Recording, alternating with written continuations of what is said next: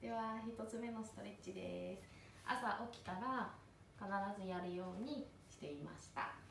と枕があってもなくてもいいので両手を四つ前ぐらいになって吐く息でお尻を引いて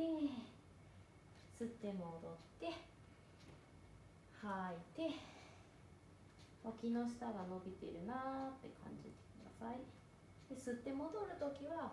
肩が手首よりも少し指先ぐらいに行くところまでちょっと戻ってあげましょう。で3回目は息を吐いて少しお尻をゆらゆらさせて気持ちよく伸びてください。